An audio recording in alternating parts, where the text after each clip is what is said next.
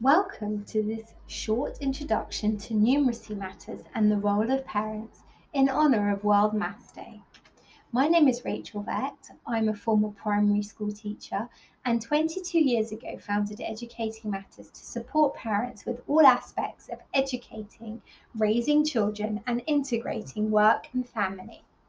I draw on my experience as a mother of four children, having taught many hundreds of children and supported tens of thousands of parents all over the world.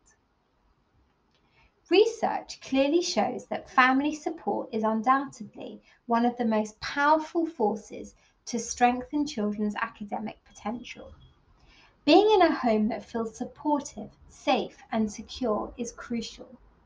But it is not easy to combine the role of parent and maths teacher, and particularly for me as a former teacher. The number one priority at the forefront of your mind always needs to be having a strong relationship and connection above everything else. On a superficial level, it feels much easier for parents to support their children with something like reading. Each night, a book is sent home, and perhaps a parent's role is a little more clear and obvious. Even when parents are doing their very best to help, this can end in frustration and tears, especially when the parent is explaining things in a different way to the teacher. The child shouts in desperation, That's not how my teacher does it at school. So let's explore the role parents play when it comes to supporting their children with numeracy. I always say parents are a child's first and most important teacher. No teacher, no matter how dedicated, is going to care as much about a child's progress as a parent does. You are the constant in their lives. You can notice progress and patterns if things aren't going well. Something you can do in a much more realistic, authentic way than in school is enable your children to see how numeracy applies to everyday life rather than having the attitude that maths is hard but you can give it up at 16 or 18 if Rishi Sunak's plans come to fruition, let your children see how you use maths in everyday life. Really take advantage of the home context.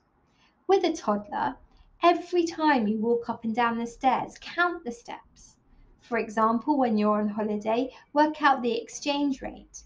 If you're buying plates for a birthday party and they come in packets of six, how many do you need for 30 children coming to the party? Cooking involves weighing and measuring, doubling and halving ingredients. Learning area to measure up for carpet, 40% off a pair of jeans in the shop. Brainstorm what you use maths for during the day. Research clearly shows that when parents believe their children can learn challenging material and set high but realistic expectations, they rise to the occasion. It's a bit like Henry Ford, who said, If you think you can or you think you can't, then you are right. If they lack confidence, they don't persist. I noticed through teaching hundreds of other people's children and raising my own four that attitude underpins everything. Parents play a vital role in helping their children to feel confident and develop a positive attitude towards maths. It's not really helpful to say, oh, I was never good at maths when I was at school, or I didn't like it either. But I do tell my children that I remember finding it really difficult at times. Children often have this mistaken belief, especially with maths, that it's something you're just born being good at. Many of you may be familiar with Carol Dweck's concept of a growth or a fixed mindset, and I have seen that playing out a lot in relation to maths.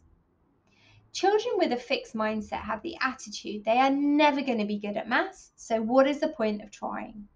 Perhaps they are more linguistic or creative. The comments that parents and teachers make really contribute to children's view of themselves and their ability. Especially in relation to maths, there is a very powerful three letter word Y E T. When a child is getting upset and frustrated and saying they can't do it, you could say, maybe you can't do it yet. I can see you're finding division difficult and it feels like you can't do it. You just can't do it yet. That does not mean, with a bit more help and practice, that you will never to be, be able to do it. To foster more of a growth mindset, talk about the attitude, process, and strategies you notice your child using, rather than just focusing on the end result and getting 100%.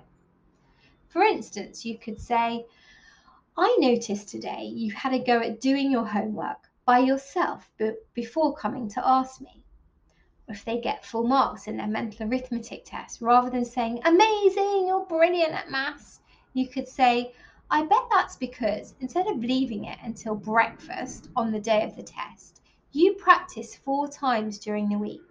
And if you want to get something stuck in your head, you need to go over it quite a few times. You are commenting and specifically reinforcing what they did well so they can repeat it next time. There are certain skills at primary school that are really helpful to be familiar with, such as times tables or number bonds. This is knowing all the different totals that add up to 10, such as 7 and 3 or 4 and 6. And instilling these at home is hugely beneficial. Personally, I don't think it's your job to take it upon yourself to teach your children new concepts from scratch, but to reinforce the learning taking place in school. For instance, it's Sunday afternoon. You're not going to say it's Sunday afternoon and it's time for you to learn how to convert um, decimals into fractions.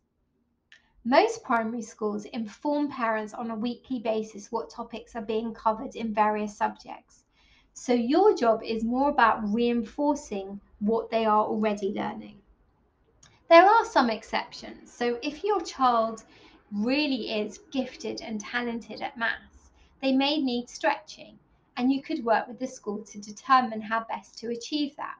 Or you may have a child at the other end of the spectrum really struggling and they need further support with some fundamental concepts. Working in partnership with the school is the most effective way to get the best outcomes for your child. It's really important to understand the school policy and approach to teaching numeracy so, for example, what methods are they using to teach concepts? How much do they expect you to get involved in your child's homework? Now, this might be really obvious, but it's important to remind you homework is for children and not for you. I remember years ago doing a talk in a big auditorium at JP Morgan. A dad put up his hand and said, I was up at five o'clock this morning doing my son's maths homework. And I said, Where was your son? And he replied, He was fast asleep. Now, with young children, they may be set something like a maths investigation at the weekend, such as finding different shapes in the kitchen. But the majority of the time, especially when it comes to maths, the teacher wants to know what the child can do.